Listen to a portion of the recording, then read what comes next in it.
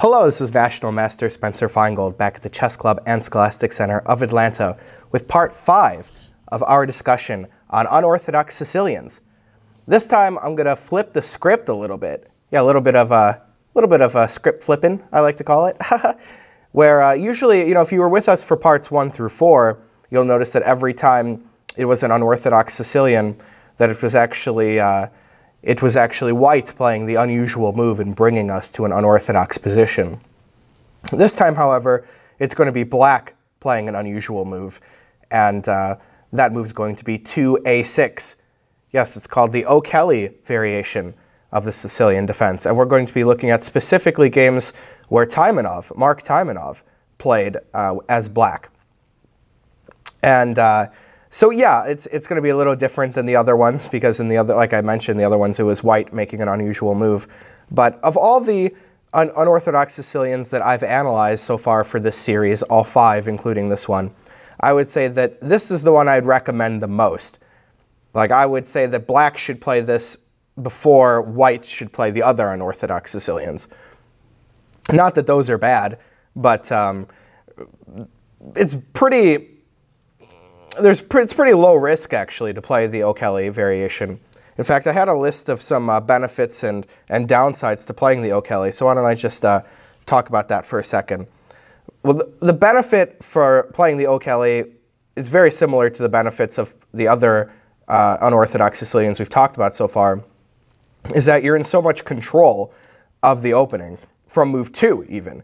From move two, you have control of, like we're playing the O'Kelly and that's, that's what we're doing. You know, you have white has to play an unusual move on move two, like to knight a3 from Shabalov or something, in order to avoid it. Most of the time, people play knight f3 on move two. So you've got a lot of control, um, and you can play the opening that you want almost all the time. And it's not even very anti-positional. Playing a6 in a Sicilian, that happens in most Sicilians.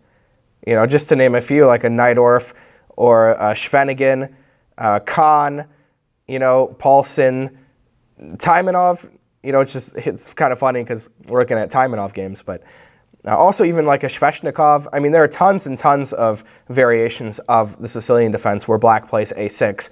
So a6 is not a bad move or a weird move in general in the middle game or, op or opening for black to, to throw out there.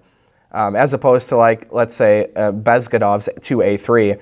That is a weird move. White doesn't always play a3 in the Sicilian. Uh, what else? There's it, you don't even. It's not objectively that bad for black. Um, I think with if both sides play absolutely perfectly, uh, white has an advantage that's less than half a pawn. So the fact that you have so much control over the opening and you still aren't going to get uh, a huge disadvantage is like it's pretty nice. You know, because even in a lot of mainline openings uh, or even other series that we've looked at, uh, you, you would get a higher evaluation. Like, for example, even in the Benoni, you know, you could learn a ton of Benoni theory and still be your opponent has more than half a pawn advantage. So the fact that the evaluation isn't that high is, is pretty advantageous, I would say. And also, here's the final point, is that it's good to play for a win. You're going to get, a, a, um, what's it called, an asymmetrical pawn structure. It's not going to be like, like let's say you play the French defense and they play the exchange variation, you're already groaning right? If you want to play for a win with black, that's a lot tougher. Or like a Petrov, or a lot of e4, e5 openings get symmetrical pawn structures. Or uh, even like something like a Caro-Kann is not necessarily symmetrical pawn structure, but kind of tougher to win. So if you want to play for a win, you want not a lot of theory, and not even that bad objectively, then this is the opening for you. But there are some downsides, otherwise people would play a lot more often, right? Uh, with most hypermodern openings, and this is no exception, you're going to have less space. So if you don't like having a lot less space, then, uh, well, it's kind of tough. kind of tough. It's tough to play hypermodern opening where you don't get a lot less space. Excuse me. Um, probably you're going to have to play against an isolated queen pawn structure as black. Um, and also, your, your opponent can also get into a Maróczy bind. And we'll see what I'm talking about, obviously, when we analyze the variations a bit. So you're going to have to be comfortable with black playing against the isolated queen pawn and against a Maróczy bind, which, I mean, the isolated queen pawn, if you're a student of the game, that's probably one of, if not the first pawn structure you study. so you should be kind of familiar with it um, if you like to uh, study chess. Uh, but it's not for everyone. Not everybody likes to have a, black an against an isolated queen pawn. Some people do, like Karpov would. You know, Karpov loved to do that. But uh, other people, they wouldn't really like to play with less space and stuff like that. So that is one practical downside. If, if you're not into that, then that's, that's you know, you're not going to enjoy that. Um, and finally, if your opponent plays, as we'll see on move three, they could play c4. that's almost forcing a Kan variation, in my opinion. I mean, unless black does some really weird stuff, black usually just goes into a Kan Sicilian, where uh, playing c4 early in a Kan is fine for, for white to do. I don't really think that that's a, a, a, an objective problem for black. I think that black can still do well to equalize. And that'll be the third thing that we look at. And I didn't analyze it too much because, you know, to me, it doesn't really fit in the scope of our studying, right? It, it's not really a Kan, actually. It's, or I'm not sorry, it's not really a, an O'Kelly. It, it's a Kan. So that's a little bit outside of our scope. But yeah, you could say like, well, why should I play the O'Kelly? I could just play the Kan, which, uh, yeah, there's an argument to be said for that. And you could even play both if you want.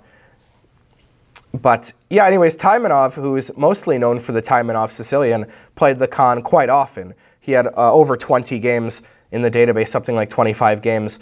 Uh, so we'll take a look at most of them uh, first of all. But all right, let's, uh, let's dive on in here. The first game we're going to look at is against, uh, hmm, let me see, how do I pronounce this name? Uh? I don't know. I don't know if he'd pronounce it like that. Uitumen. Yeah, from 1970. Yeah, Taimanov played this mostly in the 60s and 70s uh, from an interzonal. So pretty serious event. And let's take a look. E4, C5. The first thing we're going to look at is when white plays with D4. If you read opening books, which uh, well, it's a waste of time. No, no not really. But uh, it's, I think you know the least instructive chess book you can read is an opening book, really. Uh, but, but, most opening books will tell you if they look at something like this that 3d4 might even be a mistake, um, which I I'm kind of on the fence about it. I think that if you study this for white, you shouldn't play d4. And if you have black, you really like to see d4. And that's another benefit of the O'Kelly variation is that if your opponent doesn't know what they're doing, they'll probably just play d4 here because that's what you normally do in an open Sicilian. And uh, it's not necessarily the best move. Uh, like, like I said, a lot of people would just say it's a mistake. We'll take it, like normal, and knight f6. I think that knight f6 is the most accurate move order here, although uh, Taimanov did have some games with the move e5. One problem with playing e5 earlier, like he does here, is that, uh, well, I guess white doesn't really have to play knight c3 all the time. Like, for example, uh, there was this game that he played against Leonid Stein, who's a pretty nice attacking player. Stein went back to f3, which is an interesting move. And then he even played bishop c4. Yeah, he still end up, ended up defending the pawn, you know, because both the e-pawns are hanging, so if you take one, I'll take the other. He still ended up defending the pawn with knight c3, though. But after d6, the, the astute observer would notice that this is actually uh, sort of a mainline Najdorf now. You just transposed into a Najdorf. So I didn't analyze this any further because we're not studying the Najdorf, are we? And anyways, I don't think you should play this move order with black. For the record, they drew the game, but it doesn't really matter for us. And yeah, you'll notice that a lot of the times a Kan can transpose to different uh, opening variations, like a Najdorf. I'm sorry, the O'Kelly can transpose to other opening variations, like the Najdorf and like the Kan. So that's something to think about when you're playing the O'Kelly. Um, there was also a game where Taimanov's opponent played knight b3, and then Taimanov did play knight f6, and here his opponent uh, eschewed for, for a moment the move knight c3 and played bishop g5, which I think is an interesting move. Because, you know, when you're playing e5 here, you weaken d5. So playing bishop g5 is strategically uh, correct, right? Maybe you'll take the knight, like what sort of happens here, and then d5 will be a weak square. And even though white gives up the bishop pair, uh, black is going to have some weak white squares. And the bishop is a dark square bishop, so we can't control the white squares with that bishop, can we? He still ended up playing knight c3 a little later, though, he didn't even have to, right? He could have you know, defended any other way. Yeah. This was the game Borislav Milic against uh, Taimanov from 1959. And uh, here, white played bishop c4, which is not the best move. It sort of runs into b5. I was recommending, uh, or I looked with the computer, computer was recommending to play queen d6, which is a pretty irritating move to look at, right? I mean, it, doesn't, it's not the move you really like to see if you have black, I think.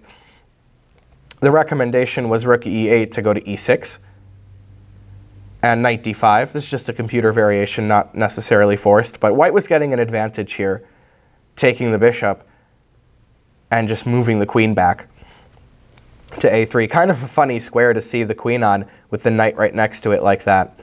Um, but yeah, the computer liked white here, and I'll have to agree. You know, it seems like the position's kind of weird for both sides. I mean, rook on e6 so early and the queen on a3 are both kind of weird. But black doesn't even have the bishop pair anymore and has a, a backwards d-pawn and doesn't really have much to show for it.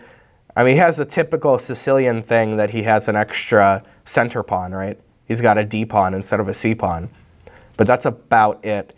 So I think that white should definitely be a little bit better here. And I do like how safe the queen is on a3. Safe but active, controlling that dark square diagonal. Um, this also, by the way, it's I guess it stops b5 because bishop takes b5. Uh, pins the, you know, the, a, the a6 pawn's pinned.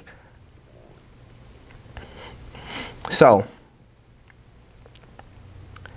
e5 at once, I was getting an advantage with white. I think it's smarter to play knight f6. This is guaranteeing, well, more or less guaranteeing that he's going to play knight c3. That's the best move. And uh, then we could play e5 after. So I think this is the proper move order. And here, Taimanov has faced uh, multiple moves. Uh, played knight de2, but let's talk about knight f3 first. Uh, Taimanov has had this position a few times. The first time he played this, he actually played d6, which again can transpose to a uh, to a Najdorf, right? If if White plays a move like bishop e2 or even bishop e3, you transpose to a Najdorf, uh, which again we don't really want to do that anyway. So this is already a reason for us not to play this way. But I think that White can also play interesting moves like bishop g5 right, bishop g5 can also be an interesting move. Again, we're trying to control that square.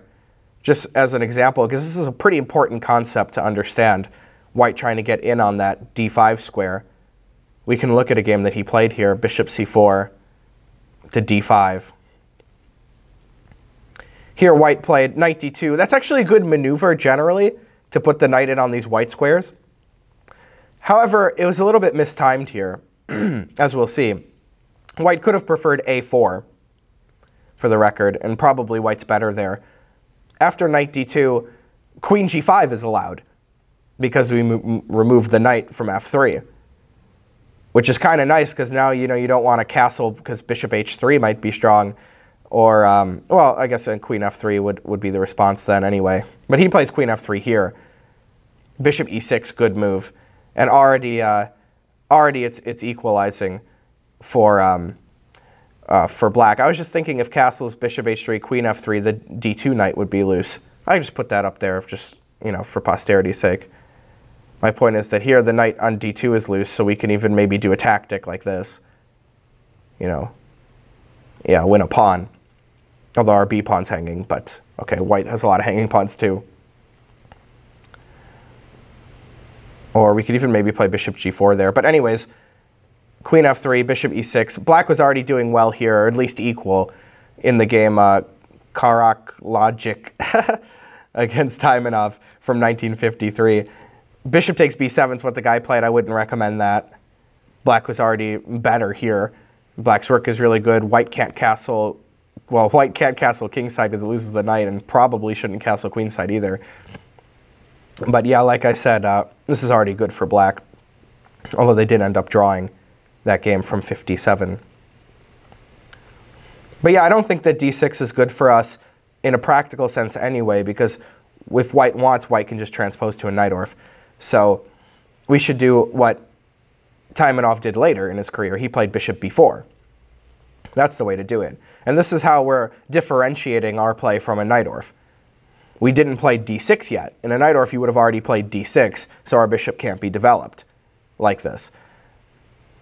Bishop c4, queen c7, bishop b3. I believe that uh, queen d3 is more common, although I didn't find a Taimanov game here. d6 castles takes, should take the knight when they castle, so it's not pinned anymore, so you might as well take it. And knight b d7. By the way, white should take with the queen so that I mean, should not take with the queen because then uh, your e pawn would be hanging. So bishop uh, bc rather, and knight b d7. But yeah, this position, it's pretty interesting position. Uh, white's got the bishop pair, but obviously has a terrible pawn structure. Black also has a weak d pawn, um, but white um, or black has a good setup against white's bishop pair.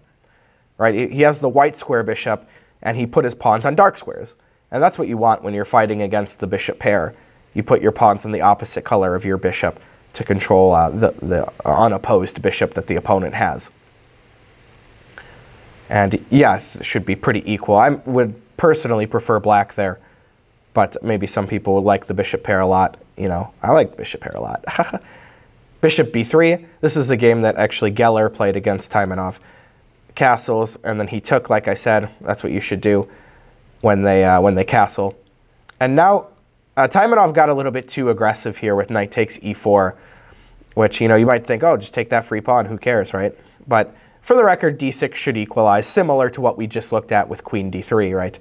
Similar to that. Um, but yeah, you shouldn't be getting greedy here. You shouldn't open up the position and get greedy like this when you're behind in development and the guy has two bishops. Rook e1, great move. Even uh, computer is saying d5 is kind of the only move here, which is kind of funny. We could just take it. But at least uh, black could try to get out the bishop and knight. Queen d2. In case you're wondering, why didn't he play queen takes e5? I don't know. That's good. That's a good move. he could totally have done that. But he played queen d2, which is also not bad, by the way. Rook d8. Bishop e6 is actually kind of forced. Uh, the problem is if you like make a normal developing move, we've got bishop b2 in, and then after you move your knight, we're taking here. I mean, these bishops are a menace, right? Like, this is terrible. It's already lost. You're just going to have to take my word on that if you don't believe me, but you should believe me. it looks terrible. So, bishop e6 um, is actually the only move. Takes, takes, queen g4. And here Geller still has a pretty serious advantage. I mean, he's a pawn down, but you could hardly tell those doubled isolated e-pawns are, are goners, basically. And the bishop on, well, I was going to say b2 because that's where it's probably going to go. That's the best minor piece on the board by a mile. Um, it's only a, a, testament to Taimanov's uh, defensive capabilities that he didn't lose, lose this. They ended up drawing in uh, 1958.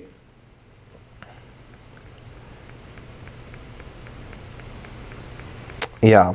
So, yeah, knight f3, bishop b4 is the answer, but and we could do like Taimanov did, just don't uh, don't go don't go pawn hunting, right?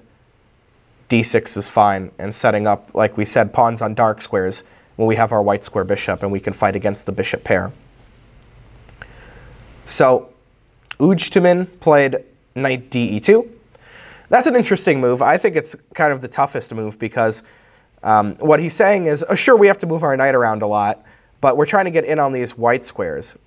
Come on. Yeah, like that. See, e5 weakens the white squares, clearly. So white could try to maneuver the knights around into that. That's how you do it. Bishop c5, knight g3. And Taimanov's had this position a couple of times. Both times he's played queen b6, which is an interesting move. I don't think it's bad. The normal move is going to be d6, where I think, uh, yeah, it should be pretty equal.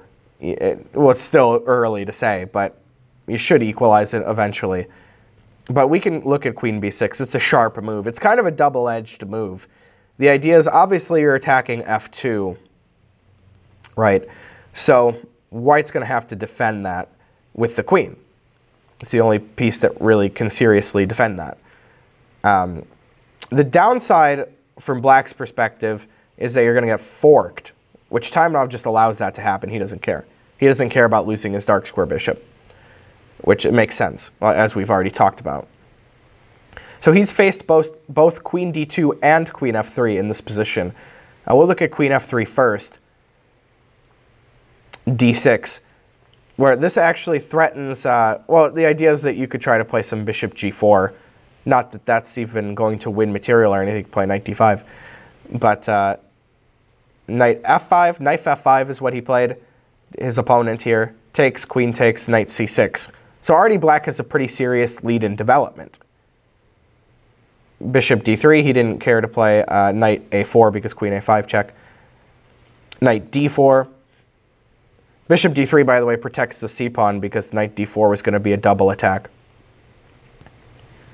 Queen h3 and bishop b4, best move. And he took it and played knight e6. This is the game Ledich against Taimanov from 1970, where Taimanov did end up winning. And again, we're in a similar position where the opponent has the bishop pair, but uh, a bad structure. And I think that this is pretty comfortable for black. The knights have a lot of good squares. Uh, it's very easy to attack the doubled c-pawns. And, well, the dark square bishop's good for black, but the white square bishop is not very good. I mean, the dark square bishop's good for white, obviously, but the white square bishop is not good for white. So that's kind of a problem. I would still take black here. Um, and yeah, like I said, Taimanov did end up winning, but he's probably stronger than Ledich anyway, so the result doesn't uh, say too much about the position. But it is winnable, at least, definitely. Queen d2. This is what Uitumen played castles. And yeah, like I said, he just let him fork. He's like, no big deal. Give me that. Take that dark square bishop. So here the difference is that uh, there, it, there aren't doubled pawns, right? There aren't doubled pawns for white. But white does have to spend some more time moving the queen and developing the dark square bishop. Both sides wasted some time moving the queen and knight around. So both sides wasted time there, and white's going to have to waste a little bit more time C4, this is the computer recommendation. It stops D5 is the point. But it does weaken the dark squares. And anyways, black could still play a different pawn break, B5. Yeah, nice. Right. So here, probably the best move is D5 still. We broke down the uh, we broke down the C pawn so we could play D5, and I think here that black should at least uh, it be at least equal. It's true that you know you're opening up the position for the bishop pair, which you normally don't really love to do that. But black will have a lot of advantages to compensate for the bishop pair. And basically, after the e and d pawns get traded, black will have an e pawn for white's a pawn. I don't really have to tell you that an e pawn is usually better than an a pawn, at least in the middle game. So black will have a lot better control of the center because of that. And uh, black's rook on a8 is really, I mean, black is just really active. All of black's pieces are great, and black should be very satisfied with the outcome of the opening if this is the position you get from the O'Kelly variation. Um, instead, in this game, Taimanov actually played knight d4, which is a mistake because Uitumen played b4. Great move by Uitumen. Great, if you, that's how you pronounce his name. Great move. The idea is just to develop the bishop to b2. In this way, white didn't lose any time to develop the bishop with the queen blocking it on d2. He got to play b4, bishop b2, which is really nice.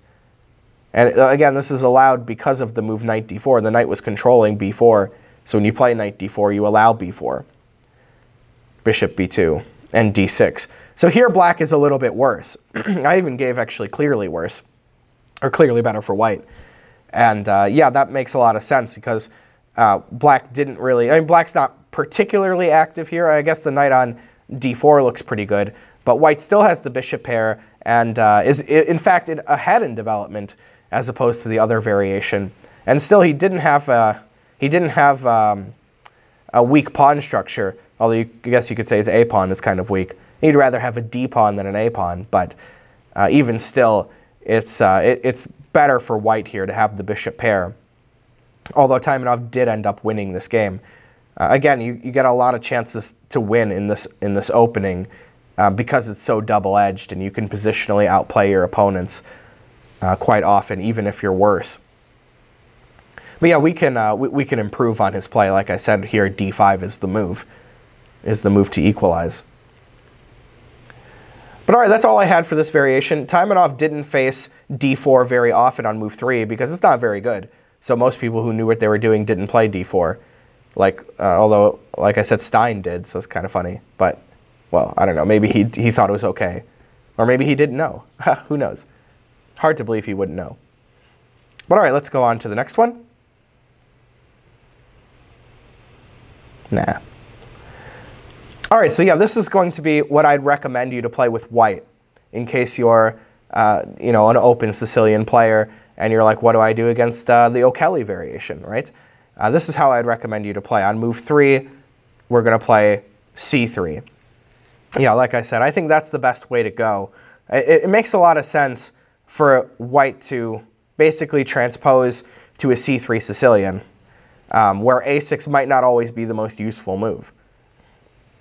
And this is where I was saying that if you play this with black, you'll probably have to play an isolated queen pawn's position. Uh, Taimanov plays the most common move here, d5. And I think that probably black is going to be very slightly worse here. Um, like I said, this is like the best way white can play, and it'll give a, a small advantage, a very small advantage for white with, with best play. Um, another option, I mean, black does have other options here. You might want to look at the move e6 if you don't mind to get a French-like position. Um, but e6 does have a downside that when you play the normal moves, you're in an advanced French where you've played a6 very early, which is not terrible because a lot of times black does play bishop d7 to b5, but if you, you could do this on your own, if you look at a French variation, advanced variation the proper move order, e4, e6, d4, d5, e5, c5, c3, nobody ever plays a6 right away. Like nobody ever plays a6 right after that. Um, it's just, you know, might as well develop your pieces first, you know, do something like that. And you're also taking away some options, like you can't play b6, bishop a6 anymore. So, yeah, I, I don't know. I think white should still be better here, and you have to sort of be okay with the French position which I feel like most people who play the Sicilian are, are not really keen on doing that. So I think d5 is the most logical way to go, even though, like I said, I think white gets a small advantage here. Takes, takes. d4. This is actually a game that I had, I had white against my grandpa, Ron Finegold, in a tournament in, in Michigan. Um, I for, kind of forgot how that game went. But I knew that c3 was the best thing to do against the, the, the O'Kelly even then. Bishop e2. I don't know how many times I've said Kan instead of O'Kelly, but I mean O'Kelly. Trust me, I mean O'Kelly when I say Kan. Um, e6, castles, and CD. There actually, I cheated a bit here because there were a lot of games where he played bishop e7 first, and I didn't want to get the move order. I didn't want to muddy it up. So I just pretended like he played CD a lot. But there was one unique game where he played knight b d7, uh, c4, queen d6, knight c3. This is actually one benefit of playing CD right now is that after you play c takes d, they can't play c4, assuming they play c takes as well. So that's why I kind of recommend to do it first. Let's look at this game though. c4, queen d6, knight c3. Normal looking moves. Knight takes. Yeah, you could even play queen takes, honestly. Even a position like this, white could be a little bit better. White doesn't mind to trade queens uh, because in, in the endgame, he could have an advantage on the queen side. He has a 3 against 2 queenside majority, which that's not a huge deal, but if, you're, if you ever have a queenside majority, you'd like it to be in an endgame. That, that's the best time to have a queenside majority. So, well, this isn't exactly an endgame yet, in my opinion. Maybe you might argue that, but uh, even still, I think that trading queens isn't bad. Although knight takes wasn't bad either, for the record. Knight takes is fine, as was played in this Taimanov game. Castles and queen d2. This is a game Reinhard Fuchs against Mark Taimanov. I don't know who Fuchs is but they did end up drawing. But yeah, obviously, I think you could just look at this position and see that white is more comfortable, right? I mean, white's got a little bit more space. Uh, the bishop on c8 makes a sour impression, and it's even kind of difficult to get developed because if you play b6, they can play some bishop f3, which is a little bit annoying, and then c6 is a weak square uh, in this in that case. You know, just put that on the board in case you you're like, what are you talking about? Yeah, the c6 would be a weak square in that case. So it's a little bit tough for black. Nothing that Taimanov couldn't handle. Again, even still, it's not like objectively lost or anything. Um, but he ended up drawing in 1967 in that game. C takes. This is what he played against uh, Gipslis. Gipslis. Knight takes d4. I, that might be the best way to go. Uh, there are a couple of other variations that I looked at here. Queen takes, I think that's sort of the most toothless. Taimanov did face this once. He played knight c6. I don't think it's the best way to go. He should just go ahead and trade queens and play e5. And he's just got such easy development here. And look at those bishops. Even still, you might say, well, yeah, but white's got the three against two queenside majority. Yeah, that's true. You know, that's true. But uh, even still, black's going to be able to develop the pieces very easily. Black can also, uh, he has more center pawns, so that's kind of a, a plus that might compensate for it, especially because, like I said, just because the queens are traded, I don't really, wouldn't really say it's an endgame yet. Um, so yeah, this should be pretty comfortable for black.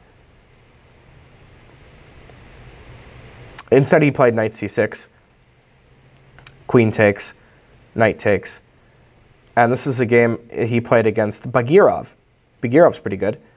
Bagirov played, I don't understand what's going on here, really. I, I kind of even wonder if it was a, uh, a like, error in notation, you know, I'm not even joking, because uh, this was a serious tournament. This was a Soviet championship from 1960, and knight a3 was the move that Bagirov played, and that is not a great move at all. I mean, it loses a pawn for nothing, honestly. You could just take the knight, which Taimanov didn't do. Taimanov played e5. He didn't take the knight. And e5 is obviously not good. You should take the knight, and then c3 is hanging after you take back. That's a free pawn, and I don't even see what the problem could possibly be here for black. You might say, well, maybe it's c4, but well, we could just retreat our bishop, and then we're still a pawn up here.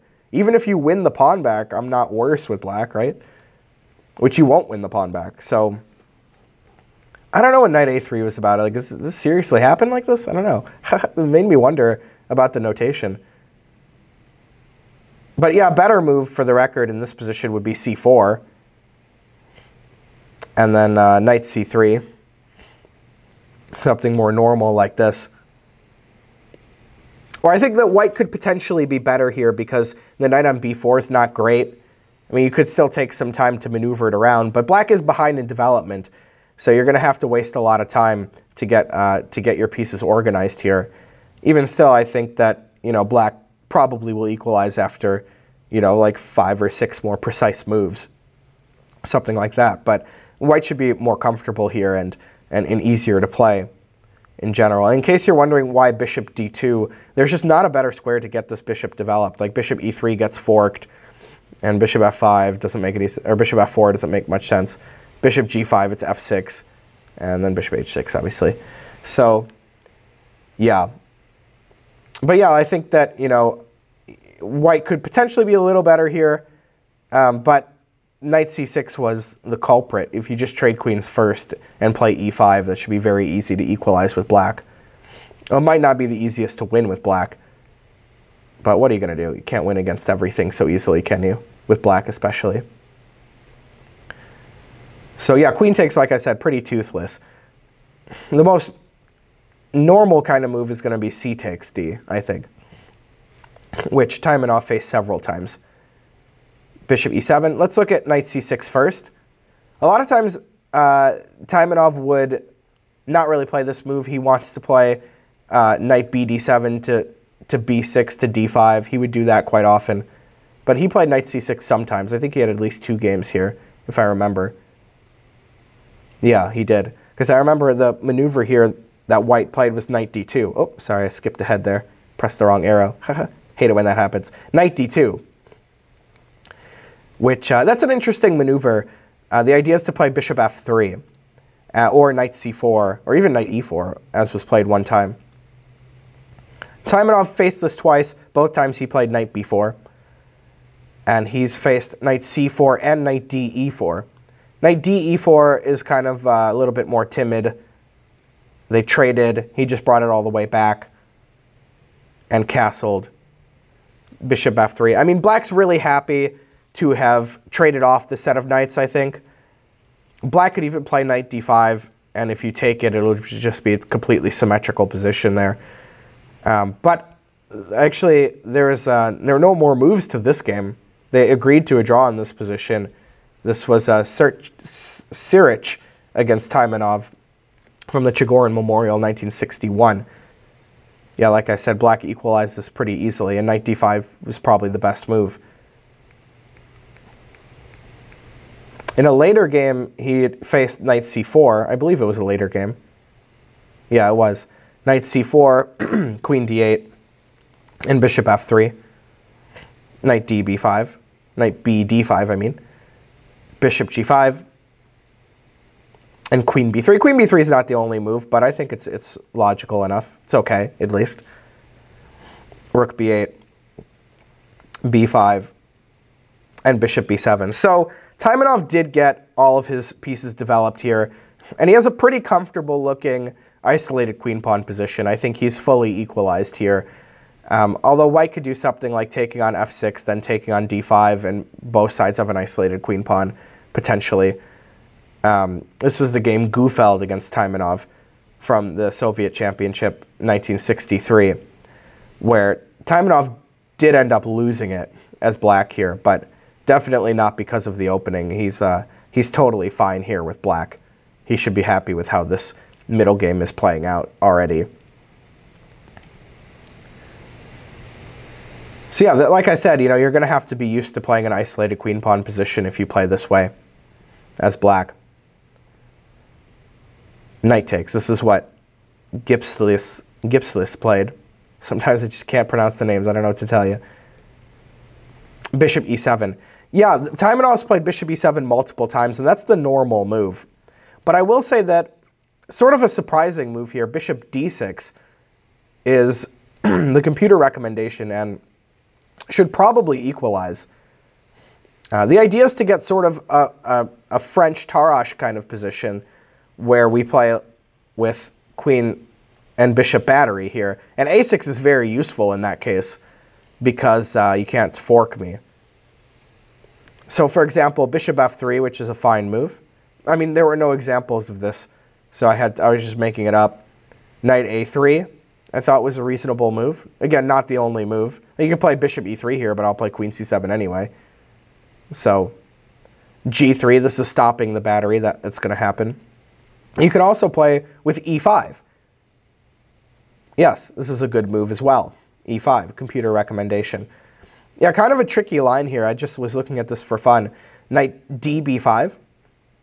The idea is that if you take it, I'll play bishop e3. Where your only queen move, yeah, the only legal queen move without hanging the queen is this one but then you're, you're lost now. You lost a pawn, and you're going to lose back your minor piece on d6. And I'll have two bishops, and I'll have a lead in development, and I'll have the initiative. So, yeah, that wouldn't be great. But you can actually just back it up. If knight b5, you can just back it up. Turn around, back it up. Like this. Which, yeah, I think that white should still be a little bit better here. This is the best I could do with black. And I think that um, this is what I was talking about when I said earlier that uh, white should be a little bit better here. This is, I think, perfect play uh, for the O'Kelly variation, where both sides have played absolutely optimal, and uh, white should just be a little bit better. White's got the bishop pair for not much compensation. Uh, black does have an extra center pawn.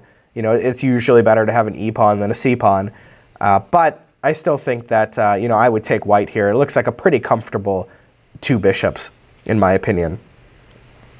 And it's not like the knight on a3 is very bad. In case you're wondering, there's, you know, he, he's, he's going to get back in the game without too much hassle. So this is, in case you're wondering how to play with white, this is how I would do it. Bishop e7. This is what he played. Did Taimanov multiple times. Knight d2. this is what Gipslis played, and I think it's the best move. That's why I kind of had him at, as the uh, as the, the, the stem game. Erevis, I don't know if I said his name actually. Erevis, Avars, Avars Gipslis. Tough name. Come on, buddy. trying to teach chess here. Knight bd7. Uh, this is another game he had bishop e3, knight bd7. This is different than the, the what Gipslis did. Knight d2, queen d6. Bishop g5. Kind of funny to play bishop e3, then bishop g5, huh? Queen c2. Uh, this was against Geller, I think. Yeah, here he should probably just play queen c7. It's probably about equal then. Um, but he went for a little trick, knight g4. Threatening mate. Maybe he won't see it, right? Obviously he did. He took, and then you get to trade. So now actually, surprise, it's black who has the bishop pair, but just for one move, because you get forked. And give me that, give me that bishop pair back. Bishop f3, e5. This is the game Geller against Taimanov from another Soviet championship, 66 to 67. Dang, a long championship back then. um, they did end up drawing, but I think that Black still got some work to do to equalize here. You know, I gave that White was slightly better because Black still is behind in development, and uh, White is just ready to go, ready to get it, ready to get it on. And Black still gonna, is going to need at least two or three moves to get his queen side fully uh, fully in the game. So, you know, probably knight f5 is a good move here. I don't know if he played that. But even still, yeah, knight f5 to d6 is like a, a pretty strong idea. So I didn't really think the Taimanov fully equalized here. But like I said, you could play, uh, instead of knight g4, you could play queen c7. Uh, that, that was the computer recommendation, and, and it should probably equalize uh, after you play b5, bishop b7. Though still you have to worry about bishop f3, but you could play rook b8 first, you know try to avoid that with some rook b8 action. Okay, so Gipslis played knight d2. I think that's a stronger move. As we saw, bishop e3 was later moved to g5 anyway, so it's kind of a waste of a tempo. Yeah, knight d2 to c4. Strong play here. Queen d8. Bishop f4. Really great play by white. You know, really great play by white knight d5, bishop g3, b5. Normal looking moves, right? You wouldn't really uh, question any of these moves. Here, white should have played with a4 all the time. White sort of held back on a4, but a4 is a really good move here. He didn't play it, like I said, but a4 is like a really strong move. If you play b4, queen b3 is strong, pinning the b pawn and and putting a lot of pressure on the queen side. Also, the queen is good on b3. Um, it gets out of the way of rooks going to, to d1 and even puts a little pressure on d5, which is kind of a key square right now. Instead of a4, he played bishop f3, which is not a terrible move. It looks pretty good. Queen c8 to get out of the pin there, protect his bishop, uh, so the knight on d5 is not pinned. Rook e1. Again, a4 just is, is really called for. for example, it wants to take and play knight b6 here, gain a tempo. And uh, yeah, it's tough for black because black's behind in development. And also, trading the a pawn for the b pawn is, is obviously good for white because white you know got the rook active on the a file and, and, and losing the b pawn means that you don't control c4 a, as well so you lost a little bit control of uh, of part of the center there. So white should still be a little bit better here, but a4 is definitely the way to go uh, all the time. You should have played a4 last move, should play it here. a4 is the, the move. Create some tension in the position because black's not fully developed. Black doesn't want there to be problems in the position uh, un until he gets his knight out, right? So, so that's how he should have done it. But he just improved with rook e1, which gave away all, basically all of his advantage uh, for now. But uh, for the record, Gipslis did still end up winning this game, even though he played a little inaccurately the last two moves. It's still kind of tough for black. Like I said, the c3 variation is not exactly a walk in the park for black. You got to know what you're doing. That, that variation with bishop d6 is the best way to go. here on move 8. and bishop d6 is not a very normal move. Bishop d6 is definitely a, uh, like you usually play bishop e7. You know, you, that, that's what you would normally want to do anyway. But uh, with some fancy maneuvers, we can actually, uh, like we were saying, get it to potentially a, you know, like I said, this reminded me of a French, uh, Tarrasch French defense, personally. But um, yeah, it's pretty close to equal. Even still, I thought white was a little bit better though. So if you're playing, uh, if you're playing this as black, this is definitely something that you have to work on to make sure that you can survive into the middle game. But uh, it's not the worst, you know, ever, right? I mean, uh, we looked at a lot of that, that Benoni stuff. I would play the Benoni, and, and it gave a much higher evaluation than, than this. So definitely uh, nothing to lose a lot of sleep over. But all right, that's all I had for C3. Um, I'm just checking because I thought I thought there was a game against like yeah. Did we look at that game?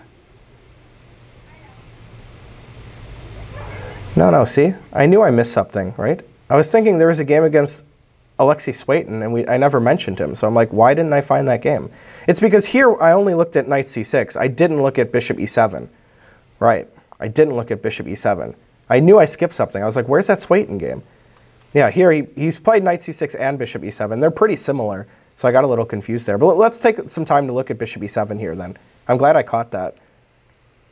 Yeah, bishop e3, yes, yes. Very good, yes. I'm happy I found that. Knight c3, queen d6 rook c1. There also he faced bishop g5 here. Again, we see bishop e3, then bishop g5. I didn't really think this is the best way to play. As you'll see, black gets a very comfortable position here.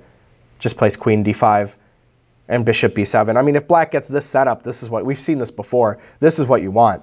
This is the setup that you want with black. You got out all your pieces. You're controlling d5. That's the, the key square for an isolated queen pawn. And, uh, and it should just be equal. On time and Taimanov even beat his opponent here, Matulevich, uh, from 1965.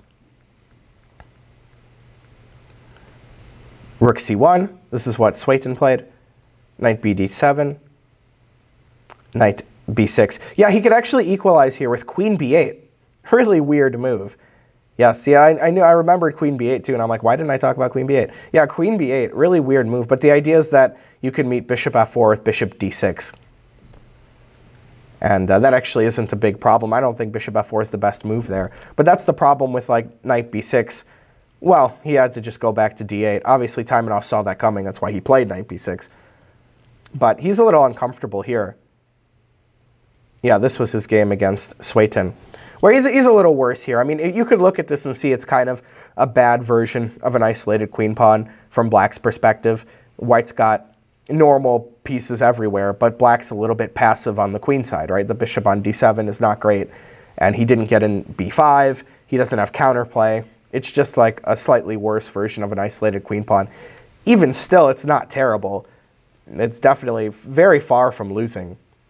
And with best play, should definitely still be a draw, although he did end up losing, but Suetin's no joke, so you know, you don't, uh, he's the type of guy, if you forget his variation, you remember, you're like, wait, I thought Suetin was in here, you know. There's a reason for that, because Suetin's uh, pretty strong. And he did end up beating Taimanov in, uh, in 1967 from this position. So luckily I caught that, so we finished up everything about the C3 variation.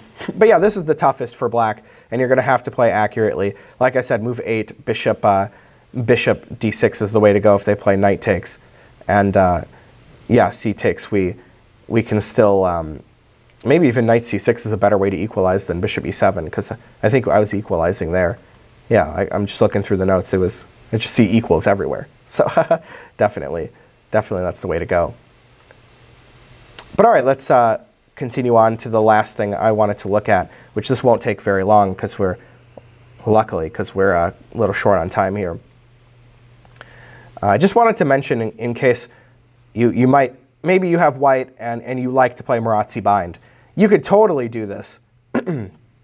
you can totally do this here by playing uh, c4.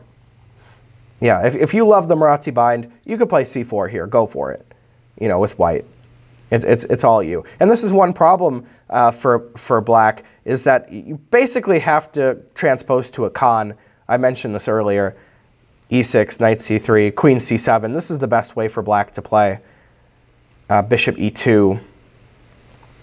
There, he, Taimanov had also different move orders here, like d4, knight f6. He, he had this position in 1966. And this is a direct transposition into the Kan. I even gave the proper Kan move order here. e6, d4, takes, takes, a6, c4. It used to be that people didn't play c4, though, actually. c4 is kind of, uh, well, I mean, people would play it, but it wasn't considered like a main line like bishop d3 and knight c3 were considered the main, main lines. But c4 is a good move. And then this is the position we just looked at.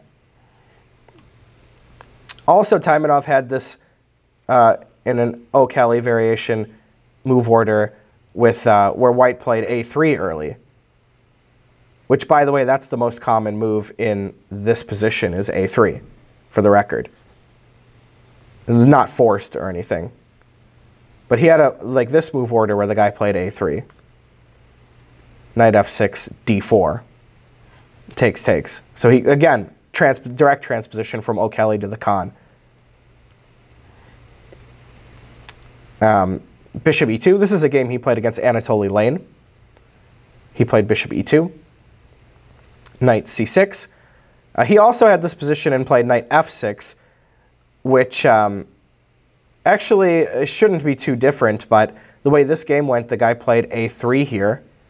And this allowed an interesting option. Taimanov played knight d4. See, now you're not getting into uh, a Kan. You know, now you're just in some weird position, right? He could have played d4 last move, like this. Maybe he, because he didn't play a3 yet, he was afraid of takes and bishop b4. But he shouldn't be that concerned about it because with the knight on c6, uh, there's a little bit less pressure here than there would be um, in, in the normal Kan variation because he's already played knight c6. In fact, computer really liked the move bishop g5, which is kind of an unusual move, I would say. Um, there are a lot of like little tactics here, like bishop c3, bishop f6, bishop b2. You know, you got to calculate those variations. But computer liked white all the way through here, which is, is a little bit, uh, little bit weird variation. a3, knight d4. Yeah, this, oh, I did the thing again where I pressed the wrong button. a3, knight d4, h3. Yeah, h3 is okay. Bishop e7, d3. Yeah, I mean, it's not like white uh, should be too proud of this position, right? Like, what has he got going on? This was Samoil, Samoiliev, Samoilovich, Samoilovich, Samoilovich. That's how I, yeah, Samoilovich against Taimanov from the uh, 1957 Soviet Championship, where uh, they did end up drawing, actually. But yeah, I think black should, should be pretty happy here. Certainly with the bishop pair for basically nothing. I mean, he has a little less space, but it's okay. It's hardly, hardly anything here. So he played knight c6 against Lein. d4, Lein went for it. And Lein played a3 here, but I think, again, with the knight already on c6, um, that a3 is not necessary. It's not even necessary in the, the Kan move order um, to play a3, like I said, when uh, to stop bishop b4. That's not strictly necessary, but especially when they block their queen and, and they have less pressure here on the queen side on the c file. I would probably just castle, and probably white got the better of the, of the move order there. But um, Lein did play a3. Even still, probably white's a little bit better here like this. You know, it's it's a uh, it's a Maroczy bind. Like it, it, computer always says white's better in like these Maroczy binds unless uh, black's got like something really good going on. But I think it overrates the position a little bit. And much like a King's Indian defense, uh, computer likes to have a lot of space and doesn't see a lot of counterplay for for black. But black's potential, dynamic potential should not be underestimated in this pawn structure. You know, it's like a hedgehog pawn structure. And you should definitely not think that uh, just because the computer says white's better here that it's necessarily true, honestly. It just, it loves to have more space and, and it's underestimating the fact that black can eventually try to play b5 and break with b5 or d5 and stuff like that. I think that uh, that definitely black should be okay with this situation. Um, but this is a practical problem for black because you know you have to know a lot about an isolated queen pawn structure and a Maroczy bind structure, which are very different pawn structures. Uh, but that's the problem with playing a6 on move 2 is that it doesn't define a lot in the center. Right? The opponent has a lot of options because you're just moving your side pawn. So yeah, I mean, but okay, you get to control the opening on move 2 like you're saying I'm playing the O'Kelly variation and uh, there's nothing you can do about it. you know, suck it. you know, you have to play the O'Kelly. But still, I think that white should definitely be playing c3 on move 3. In my opinion, that was very difficult to even uh, get just a slightly worse position as black, although I think I achieved it with that 8 bishop d6 variation. Um, but yeah, I think it's interesting. Taimanov played this a lot, even against strong players like Suetin and, and Anatoly Lein. I mean, those guys were bruisers, and he played it in serious tournaments. Geller, too, we saw. He played it in, and Gufeld. I mean, he played it in, in Soviet championships. Like a lot of these games were from the Soviet championship. So obviously he believed that the opening uh, the opening was playable. And uh, oh look, we got a, a, late entry here. Yeah, probably I just won't admit them because you know it's only four minutes left. Um, I was just going to wrap it up anyway, actually. Yeah, in fact, anyways, that's all I have for you today. If you enjoyed, please consider to leave a like or subscribe to the Chess Club and Scholastic Center of Atlanta's YouTube. Thanks. 拜拜。